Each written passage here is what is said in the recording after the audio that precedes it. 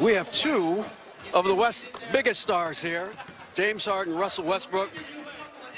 Fellas, Mardi Gras and All-Star in the same weekend. So what, what do you try to get into?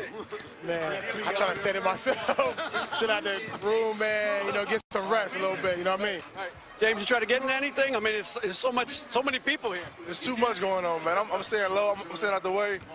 I'm gonna do my stuff and get out.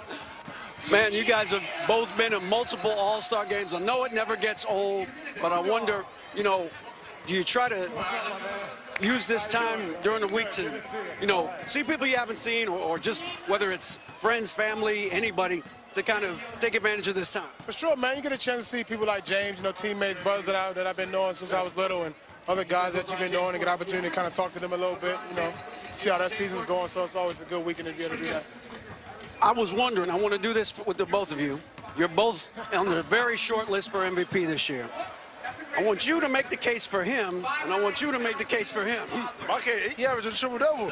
There's only one other person in history of the league that ever did it. So, I mean, he's doing it every single night. I mean, on on, on every aspect of the floor. I mean, it's uh, we're watching greatness right now.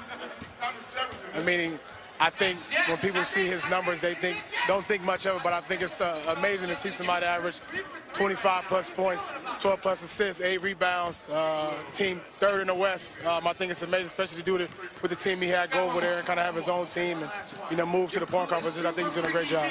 All right, now Russell's the two-time MVP of this game. Might be going for that three-peat tomorrow.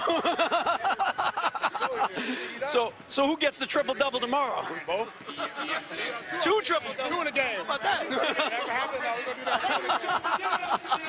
Gentlemen, thanks for your time. Enjoy the rest of the weekend. All right, back to you, Marv. All right, thank you, David. Russell Westbrook leading the way in terms of triple doubles with 27, looking to become the only other player in NBA history, aside from Oscar Robertson, who did it back in the 61-62 season, to average a triple double. And you see James Harden with with 15.